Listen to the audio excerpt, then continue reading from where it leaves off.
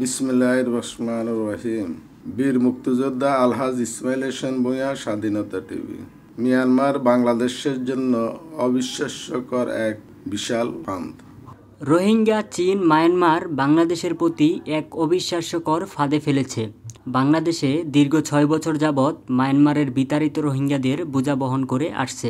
এ রোহিঙ্গা, চীন, মায়ানমার বাংলাদেশকে এক কৌশলে অবস্থিত করে রাখছে। শুধু রোহিঙ্গার বোঝা নয় রোহিঙ্গা সন্ত্রাসী চট্টগ্রাম, নিরীহ জনসাধারণ বাংলাদেশের নাগরিকদের উপর চুরি, ডাকাতি হাইজাক হত্যা নির্বিচার বাংলাদেশের নাগরিকদের জিম্মি করে রাখছে। এমনকি রোহিঙ্গা সন্ত্রাসী অত্যাধুনিক অস্ত্র ব্যবহার করে বাংলাদেশের নাগরিকদের জিম্মি করে পার্বত্য চট্টগ্রাম গভীর জঙ্গলে নিয়ে লক্ষ লক্ষ টাকা হাতিয়ে নিচ্ছে। টাকা নেওয়া অপরাগত হলে হত্যা করতেও দ্বিধাবোধ করছে না। বাংলাদেশি পুলিশ, বিডিআর, আর্মি, জিম্মিদের ছাড়ানো উদ্দেশ্যে অভিযান চালালে রোহিঙ্গা সন্ত্রাসীরা জিম্মিদের হত্যা করে মায়ানমারে পালিয়ে যাচ্ছে। ফলে জিম্মিদের হত্যার বয়ে অনেক সময় অভিযান চালানো হতে বিরত থাকে আইন শৃঙ্খলা বাহিনীরা। বাধ্য হয়ে জিম্মিদের পরিবার সর্বশেষ সম্বল বিটে মাটি বিক্রি করে রোহিঙ্গা সন্ত্রাসীদের কথা মতো টাকা দিয়ে জিম্মি করা ব্যক্তিকে ছাড়িয়ে আনতে বাধ্য হয়। বাংলাদেশ আবেগের বশীভূত হয়ে প্রায় বারো লক্ষ রোহিঙ্গাকে আশ্রয় দিয়েছিল। সেখানে মায়ানমারের রোহিঙ্গা মায়ানমার নাগরিকত্ব অস্বীকার করেছে। তখন চিন্তা করা উচিত ছিল রোহিঙ্গাকে বাংলাদেশে আশ্রয় দিবে কিনা? যেখানে আরাকান রাজ্য রোহিঙ্গাদের শত শত বছর হইতে নিজস্ব এলাকা বাসস্থান, যে বাসস্থান হইতে তাদের বিতাড়িত করা হচ্ছে, তখন তাদের পক্ষে রুখে দাঁড়ানো উচিত ছিল।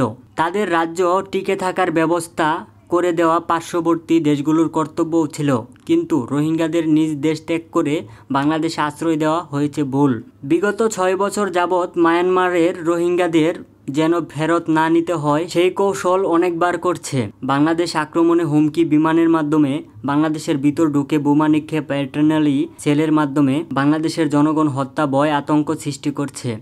আমেরিকা নিষেধাজ্ঞা মায়ানমারের উপর দেওয়াতে মায়ানমার কয়েকবার রোহিঙ্গাদের ফেরত নিতে চুক্তি আশ্বাস দিলেও মায়ানমার পরবর্তী চীনের কৌশলে নীতি অবলম্বন করে। চীন উস্কানি দিয়ে ও মায়ানমার শূন্য ফকি চীন আর্মির সাহায্যে পার্বত্য চট্টগ্রামে অস্থিতিশীল অবস্থায় পরিণতি করছে।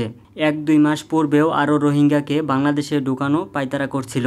বাংলাদেশ পুলিশ বিডিআর দমনে ও বাধায় মায়ানমার ব্যর্থ হয়। এখানে এখনও আমেরিকা জাতিসংঘের চাপে মায়ানমার হিমশিপ খাচ্ছে। রোহিঙ্গা ফেরত নিতে চীন, রাশিয়া, ভারত সহ চেষ্টা করছে। কিছু রোহিঙ্গাকে ফেরত নিতে আমেরিকা জাতিসংঘের নিষেধাজ্ঞাকে থামাবে চীন।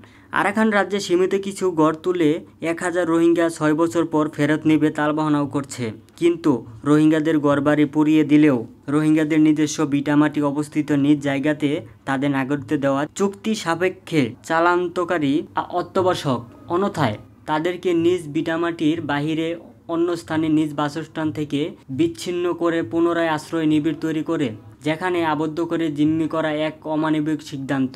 তাদেরকে মায়ানমার রাখাইন রাজ্যে স্থায়ী বাসিন্দা হিসাবে নাগরিকত্ব প্রদান না করলে পুনরায় পূর্বের অবস্থানে দাঁড়াতে পারে। বর্তমানে ষড়যন্ত্র করে চীন মায়ানমারের সাথে হাসিলের পাইতারা করছে। চ্যানেলটি লাইক, সাবস্ক্রাইব করে সাথে থাকুন।